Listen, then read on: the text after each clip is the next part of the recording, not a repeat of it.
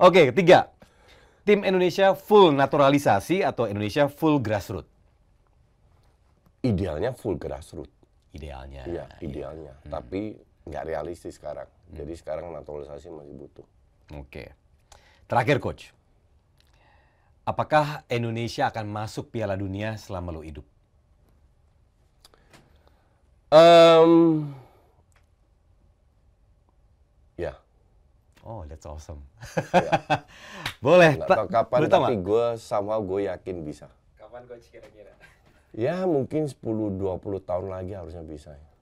Oke, asal Ya, jalannya kayak gini. gini, ya. ikut Piala Dunia itu kan ada faktor lucknya, drawing. Ya. Kalau lu ikut Piala Asia, drawingnya bagus, lu lolos, ya kan? Dapat drawing lebih bagus lagi, lolos, Lolos lagi. Terus eh, ketemu tim berat, contoh ketemu Iran lah. Irannya lagi mules semua perutnya. Terus lu lu seri, menang adu penalti, lolos lagi. Kan banyak faktor yang yang nggak terduga. Ya. Tapi gue rasa kalau jalannya ini udah bener ya, ki- kita kan cuma bisa berharap ya. Ya. Jadi ya, ya gue sih masih optimis kita bisa. Oke. Walaupun nggak dalam waktu dekat.